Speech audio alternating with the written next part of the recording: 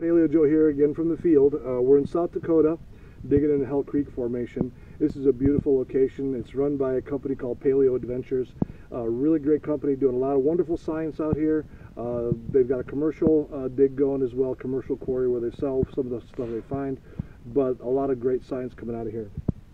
What we're doing today, what I'm doing today, is we're on the side of a, a wall here. Uh, this is a river deposit, uh, very similar to the river deposits I dug in, in uh, Utah but we're going through this uh, coarse pebble here.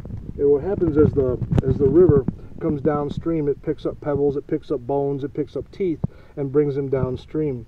Uh, as the water starts to slow down, it deposits some of these things in a nice big pile. And what we're doing right now is digging through this pebble uh, to try to find evidence of bone material. Now, some of the larger pebble, we get a lot larger bones. Some of the smaller pebble, you'll see lots of bu busted bone fragments, small fragments that have been rounded by the tumbling of the water. Once we get done digging there, if there's nothing in it, we kind of collect up all the material. And this is what's really important. This is what a lot of people do not do. And this is this is critical. Have I told you this is critical? This is critical. We take all the stuff that's left over, all the small stuff, we dump it into a sifting screen. Uh, this is a very small sifting screen, one eighth of an inch. Uh, uh, I think it's a one eighth of an inch screen.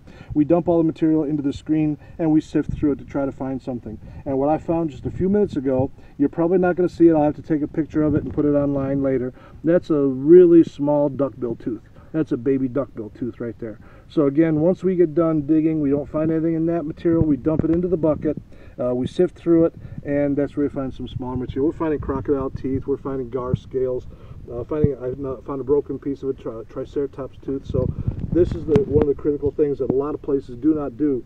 They do not sift the material. Uh, very critical. You find a lot of great stuff in here.